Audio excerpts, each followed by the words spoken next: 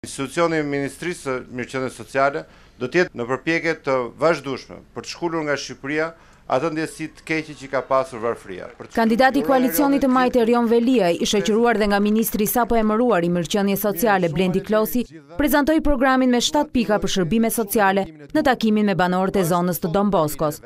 Veliaj tha se është duke punuar me Ministrinë e Zhvillimit Urban që katet e ndërtuara pa leje nga bashkia të mos shkatërrohen, por të përdoren për banesa sociale.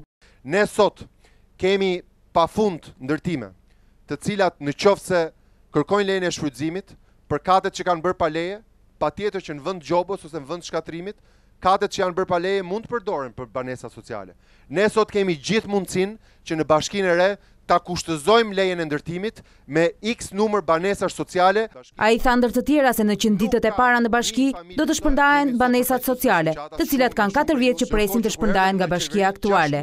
Veliaj shpalli si mjaft të rëndësishme në shtatë pikat e shërbimit social programe për ofrime të vendeve të punës të personave që përfitojnë ndihmë ekonomike, si dhe programe të posaçme strehimi të fëmijëve që jetojnë në rrugë. Faleminderit shumë.